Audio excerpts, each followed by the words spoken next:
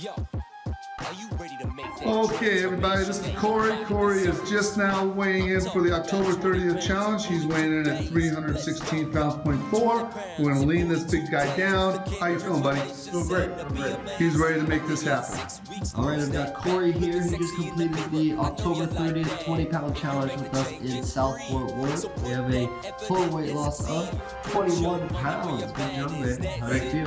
Feel great. Feel great. Nice. Good energy. Feel good. Good. Transformation Center. Sign up now and don't be a stranger. Your vet's funeral is coming.